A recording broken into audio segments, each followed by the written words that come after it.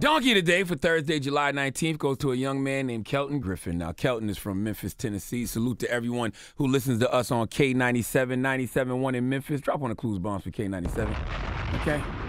Now, let me tell you something. Whenever I hear women say all men are trash, I'd be like, relax. Okay, all men aren't trash. Just at certain points in our lives, all right? Mostly in our youth, we are trash. Now, don't get me wrong. Some young F boys only grow physically, not spiritually, mentally, or emotionally. So they grow, grow, grow from F boys to F men, but that's another conversation. Today we are talking about a trash ass F boy. Okay, I, I got to give y'all this one, women. Who all right, you? I couldn't even defend this one if I tried. Okay, if a woman says to you, Kelton Griffin is trash after hearing this story, all you can say is, well, eh, I can see why you say that.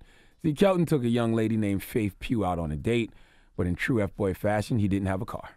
But that's cool. You know, Faith got a whip, a nice little black Volvo. She's stunting on these hoes with in Memphis. So Kelton and Faith went on a date in Faith's car, but Kelton drove though.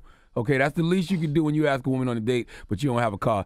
Take the wheel, my brother. Take the wheel. And also, my brothers, don't ask a woman on a date if you don't have a vehicle to pick her up in. Now, if you both agree to meet somewhere cool, you know what I mean? You take your Ubers, your cabs, whatever you got to do, your buses, however you get there. But if you ask her out and tell her you want to pick her up and take her somewhere, make sure you got your own wheels. Borrow a friend's car. Do something. But to ask a woman to take her out and then to tell her you don't got no car and you want to drive hers, that's just a different level of trifling. But Faith earned her name because Faith is taking the first step even when you don't see the whole staircase. In Faith's case, she went on the first date even though she already saw the first sign that he was an F boy. Would you like to hear how the date progressed? Let's go to WREG Channel 3 CBS for the report, please. Faith Pugh says when her date showed up Saturday, he didn't even bring his own car. Pugh says she knew Kelton Griffin from high school, but hadn't really spoken to him much when he reached out and suggested dinner. They took Pugh's black Volvo. Then Griffin couldn't make up his mind where he wanted to take her. They ended up at this airport area gas station. He asked me, could I go in the gas station for him to get a cigar? Turns out that was a mistake. He just drove off. I came outside and my car was gone. Her mother picked her up, and then she got a surprising message from her god sister, The same man who had just stolen her car had asked her godsister out. I said, okay, well, send me the address to where you at, and I'm on my way and tell him to come on. They used the GPS tracking on her phone to tail him all the way to this drive-in theater, where they say they find Griffin in Pugh's stolen car with her godsister on another date. He then he let her drive, so she drove him to the uh, drive-in. He didn't even have any money. She actually paid their way to get in the drive-in just so I could get my car back. They called police. Griffin was arrested on the spot.